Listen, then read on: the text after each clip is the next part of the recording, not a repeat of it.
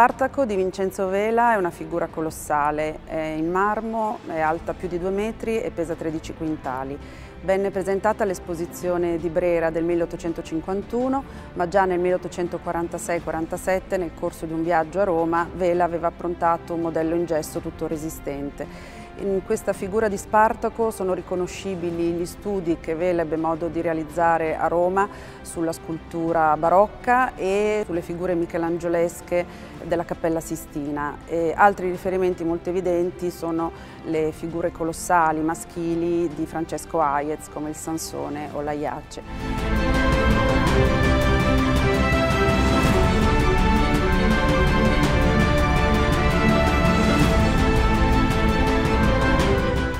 Nello Spartaco tutte queste componenti ed altre ancora si fondono e danno vita ad una scultura che supera i dettami del bello accademico e neoclassico, del bello ideale, in funzione di una creazione eh, realistica, di un nuovo e potente realismo, quasi brutale, che incarna il mm, concetto di guerra giusta, un concetto elaborato nella seconda metà del XVIII secolo, soprattutto con Voltaire la figura dello schiavo trace che armato soltanto di pugnale e di armi rudimentali guida alla rivolta un manipolo di schiavi eh, andando incontro e scegliendo in qualche modo il proprio destino non poteva che essere un riferimento eh, evidente alla storia attuale ai sanguinosi moti del 1848 ai quali lo stesso Vela, come noto, prese parte.